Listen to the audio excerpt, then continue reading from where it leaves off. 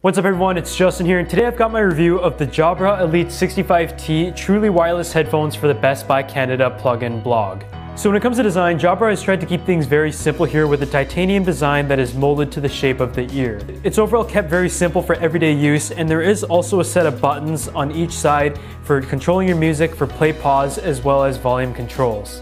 Additionally, when it comes to comfort, despite its size, these are very nicely molded to the ears and from my personal experience, I found these very comfortable over extended periods of time.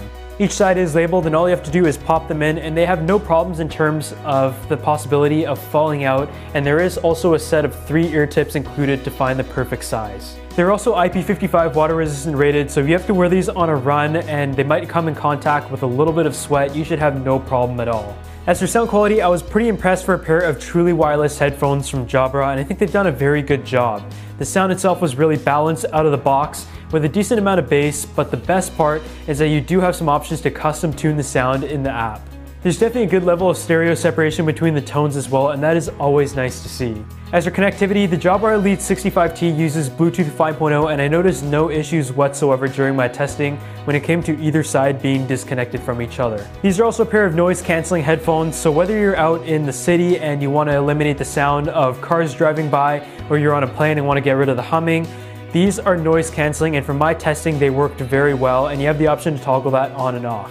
Jabra Sound Plus app also allows you to toggle between different settings, but what I do like about the app, and I think the most prominent feature, is the ability to switch between different EQs. Depends on the type of genre of music you listen to or just personal preference based on bass emphasis or treble emphasis. You have the option to play around with all those settings and preview them in real time from the app.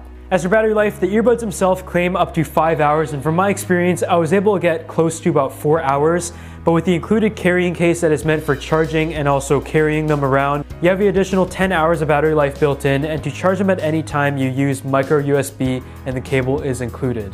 The quality of the case is pretty decent, nothing too special, but I would have liked to have seen USB-C for the charging method.